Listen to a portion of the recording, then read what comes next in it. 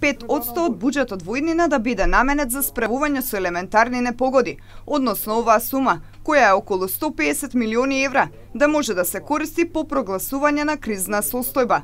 Ова е предлог на ВМРО ДПМН и ДУИ од матичната собраниска комисија. Пратеникот на ДПА, Бекин Фазлиу, рече дека Македонија е единствената земја каде елементарните непогоди се случуваат како последица на политичките непогоди. Па. Зар не е Тетово веќе една година во елементарна криза? Зар не е Тетово веќе 10 години во елементарна криза како последица на оваа власт, бидејќи нема вода за пиење?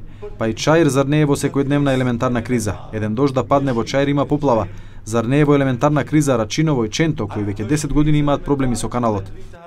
Пратеникот Крсто Муковски рече дека законот ќе помогне во кризни ситуации. Немојте да правиме фама од едно законско решение кое што е во прилог на граѓаните на Република Македонија. Во конкретниот случај на, на, на страданите од поплавите. Во имнина, не дај Боже, да не се случи, меѓутоа можни се вакви работи од повеќе аспекти. Пратеникот на СДСМ Маријанчо Николов рече дека зголемувањата за 2% на оваа сума не прави голема разлика. Како сме криви ние? Ева, ај кажете како сме криви ние. Кој му спречуеше на дирекцијата за заштита и спасување да интервенира на време?